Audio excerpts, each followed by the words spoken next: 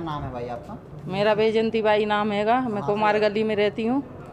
आज क्या मामला था जिला मुख्यालय पर आई आपने तेल डाला क्या कारण उसका? मैंने इसलिए तेल डाला है मेरी कोई सुनवाई नहीं हो रही है मैं छः महीने से फिर रही हूँ यहाँ।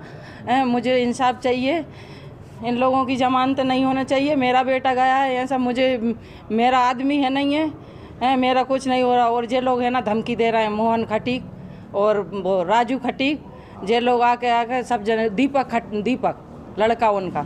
क्या हुआ था? कब की घटना थी ये? जे मुझे है ना मैं एक महीने से घर नहीं थी ताला लगा था। जे लोग मुझे मेरी तलाशी कर रहे थे कि जे लोग कहाँ गए कहाँ नहीं मैं डर के मारे है ना कहीं चली गई थी। फिर अब आई हूँ तो अब जे लोग ऐसी धमकियाँ दे रहे हैं मेरे को। हैं कि मार आ रहेंगे तो मैं मुझे सुरक्षित चाहिए पुलिस सुरक्षित चाहिए मुझे। किस तरीके से मारा था? मारा मेरे वो सूरज खटी पवन खटी इन लोगों ने पाँच लोगों ने मारा है। कब की घटना है ये? कब मारा गया था? कितने साल हो गए?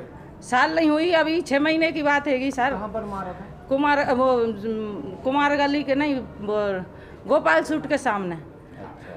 गोपाल सूट के सामने मारा था दुकान जा रही था। तो आपने जो घासलेट का तेल डाला मैंने इसलिए डाला है कि मेरी कोई सुनवाई नहीं हो रही। उनके सख्त कार्रवाई होने चाहिए उनके खिलाफ नहीं तो मैं जही मारूँगी एडिशनल एसपी से मिली एसपी से मिली क्या कहा उन्होंने? उन्होंने कहा है कि करेंगे ये बोला है करेंगे। आज एक आवेदिका वैजयंती प्रजापति जी आई हुई थी। दुर्भाग्यपूर्ण रूप से कुछ माह पहले उनके पुत्र की कुछ अपराधी तत्वों से विवाद हुआ था और उसमें उनको जो चोटें आई थी, उसके बाद उसकी मृत्यु हो गई थी।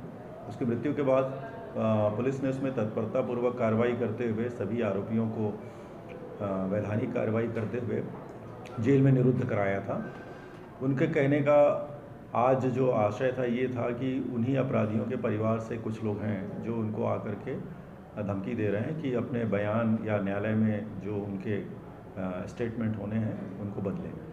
उनकी इस शिकायत पर तत्काल पुलिस ने कार्रवाई की है और ऐसे आरोपी जिनके विरुद्ध वो आरोप लगा रही हैं, उनके विरुद्ध हम विधिवत कार्रवाई कर रहे हैं और उनके भरण पोषण की बात आ रही थी क्योंकि उनका कहना था कि उसके पति या घर में ऐसा कोई सदस्य नहीं है जो कमाऊ हो।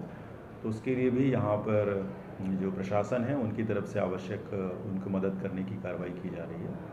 फ़िलहाल, उन महिला की जो भी संभव मदद है, वो की जा रही है। ताज़ा खबरों के लिए सब्सक्राइब करें जे टाइम्स और साथ ही नोटिफिकेशन पाने के लिए बेलाइकन को दबाएँ।